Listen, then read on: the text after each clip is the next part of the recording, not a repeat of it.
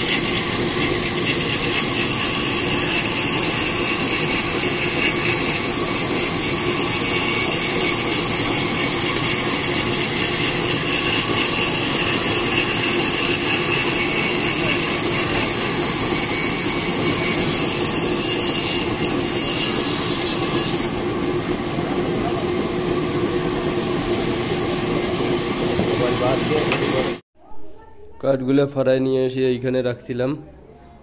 যে এইখানে কাঠ।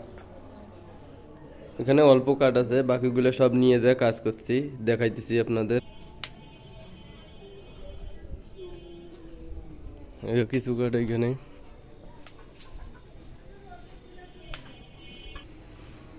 এই যে কাঠগুলো দিয়ে অনেক কষ্ট করি ভাই।